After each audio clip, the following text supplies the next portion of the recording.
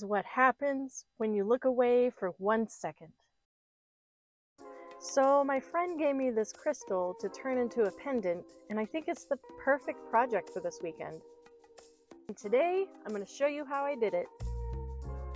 First, I'm going to take this bezel wire and do some very complicated mathematical calculations. No. I'm going to do this the right way. Take the crystal, roll it over on each of its sides to get the length, and then mark it with a Sharpie, because that's the easy way. Grab a saw and cut it where we marked it.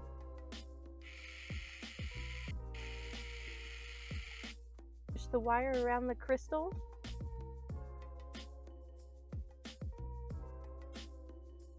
And then you get something like that. Cut so that the two ends meet flush. I'm gonna solder the setting now. There's already a piece of solder stuck on there because I tried soldering it earlier, but it was dirty, so it just stuck on there. A little side note, the tweezers I'm using to hold the setting are stealing all the heat, keeping the metal from heating up enough to let the solder flow. It's called heatsink, and I realize it's happening right now.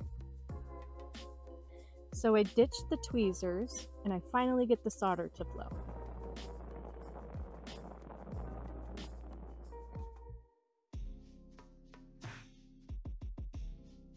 Look at that nice solder job.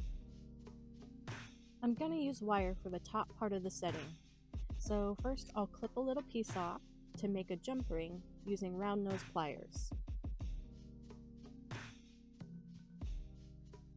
Then using my saw, I'll cut out the wire so that the two ends meet flush.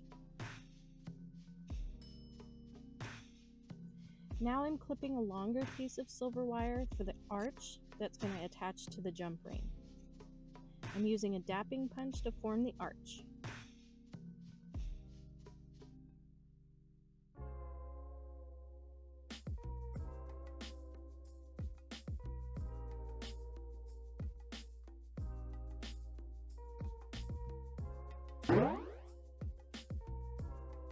Just a little test fit, and now it's time to solder.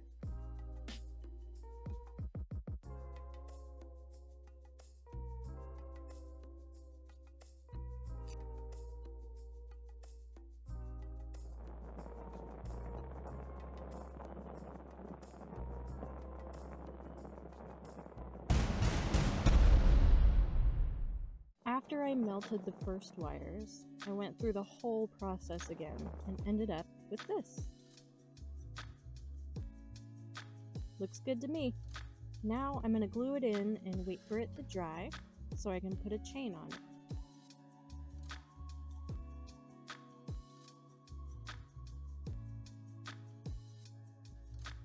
And here's the finished pendant. I hope she likes it.